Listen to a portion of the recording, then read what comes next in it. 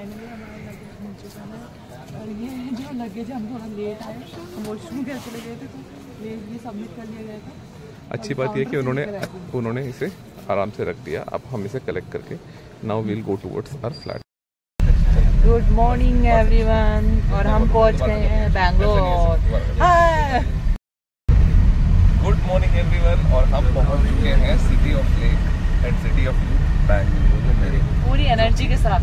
जो कि IT hub है और यंगस्टर्स की दिलों की धड़कन है। तो हम पहुँच चुके हैं अभी करीब करीब सुबह के दस बज रहे हैं। बट ऐसा लग रहा है जैसे ना तीन हो रहा है मैं तो भूल जाती हूँ सुबह ही हो मतलब लेकिन ये कि मतलब गर्मी नहीं कहूँगा मैं लेकिन धूप काफ़ी तेज है। हवा ठंडी है और एज यूजुअल बैंगलोर का ट्रैफ़िक हाँ बैंगलोर का ट्रैफ़िक वैसे का वैसे ही है। दिखा दो सबको। दिखा दो बोलो।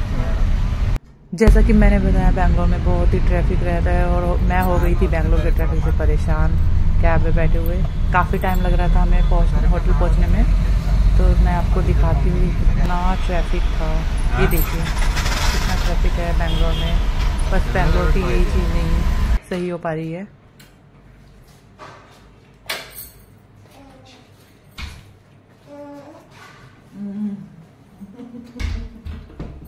बस शक्ल दिखा